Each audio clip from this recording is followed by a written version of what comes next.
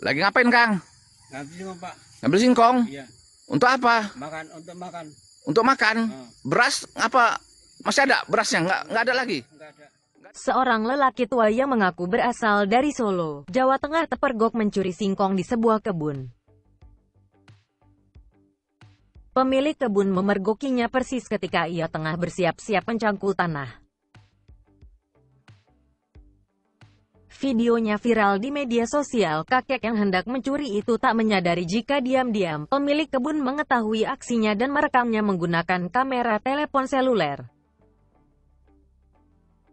Ia kemudian diberondong sederet pertanyaan oleh pemilik kebun yang diduga bernama Ujang.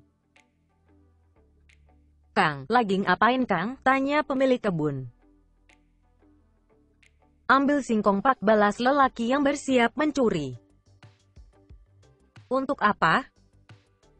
Untuk makan, Pak, jawabnya. Wajah pria itu langsung berubah takutan. Namun ternyata, di luar dugaan, reaksi pemilik kebun justru membuatnya terperanjat. Sang pemilik kebun rupanya tak berniat menangkapnya atau melaporkannya ke pihak berwajib seperti yang sudah-sudah. Mereka justru terlibat percakapan yang membuat warganet segan. Ya sudah enggak apa-apa kalau untuk makan. Ini kebun saya. Tapi lain kali kalau di kebun orang, harus bilang ya. Kalau enggak bilang, kamu bisa digebukin orang, kata pemilik kebun. Pria tersebut justru mengizinkan isi kebunnya diambil asalkan orang yang bersangkutan minta izin terlebih dahulu. Ia menyebut kebunnya sebagai kebun Allah milik bersama.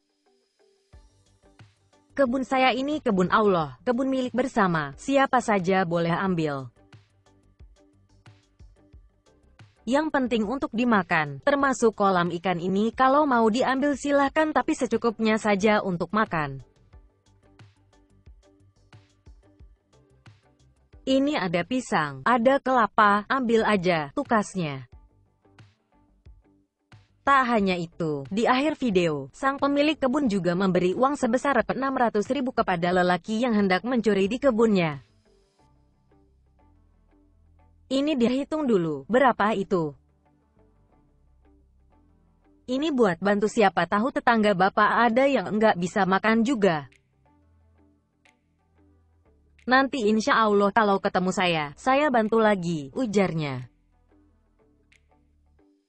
Peristiwa tersebut sontak membuat warganet merasa salut. Mereka memuji tindakan pemilik kebun yang justru membantu pria yang berniat mencuri isi kebunnya. Kayak begini enak kan? Enggak haruskah hukum segala? Ayolah saling bantu sesama, tulis Etnovia Tiffany Marbun.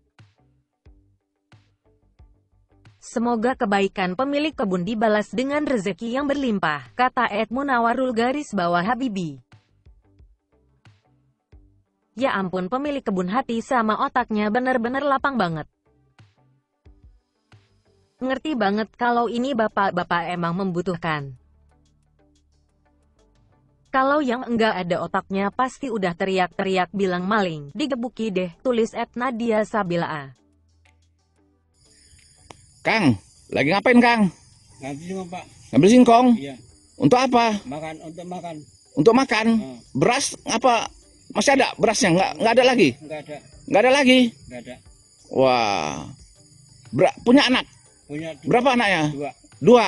Kakang mung Jawa. Iya. Endi Jawa nih? Solo. Solo. Iya. Oh, iki kebun siapa iki? Pak Ujang Pak. Kebun Pak Ujang. Iya. Kenal ora karo Pak Ujang nih? Enggak enggak kenal Pak. Nggak kenal? Enggak. Oh. Ya wis, ora apa-apa kalau untuk makan ya. Iya Pak. Tapi lain kali harus bilang kalau kebun-kebun orang lain ya. Iya, Pak, iya. Kalau punya orang lain, Iya. kakang bisa modar dipukuli wong. Iya Pak. Wis miskin modar men meneh kok ya. Iya Pak. Oh. Oke, untuk tambahan beli berasnya ya. Oh makasih Pak. Iya, berapa itu? Coba hitung. Nambah Pak. Ya, 600 ya. Nanti kalau ada yang lain masyarakat yang nggak makan bantu juga kasih ya. Iya Pak. Oh. Nggak ada bantuan dari dewan apa dari pemerintah? Enggak ada belum ada Pak. Belum ada. Belum. Oh, Sekarang. ya udahlah, wis nasib rakyat memang ini ya harus sabar ya. Iya pak. Eh, ini nggak apa-apa ini kebun saya ya. Iya pak. Ini kalau mau diambil-ambil makanan segala macam masuk kolam ini kalau mau ambil ambil ya. Iya pak. Pisang segala macam yang penting untuk mangan ya. Ojo dijual. Iya pak. Kalau dijual engkau keriting gigi nih ya. Pak ya. Tapi kalau di tempat lain jangan harus bilang dulu ya. Iya, dipukuli wong. Iya, oh, oh. Ya wis ya, hati-hati ya. Iya. Udah, yang benar. Iya, Pak.